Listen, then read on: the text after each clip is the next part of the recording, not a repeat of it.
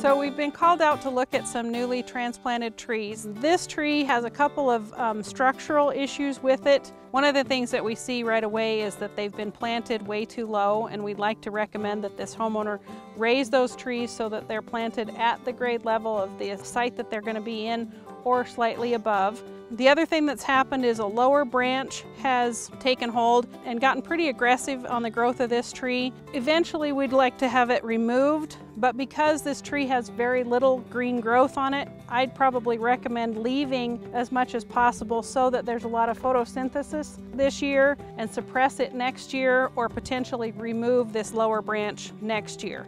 The other thing that's happened with it is it's got some branching occurring up here and it's got a struggle for the dominance of the central leader. And I would probably recommend for this site removing the leader of the tree and letting this side branch that has more upright growth remain as the central leader. We do want to make sure that we remove any broken or dead branches so we minimize the ability for bacteria and fungus to get into the tree. If you have questions about tree planting or tree transplanting in your yard, give your local extension office a call. I'm Donna Hoffman with the University of Wyoming Extension, and you're watching From the Ground Up.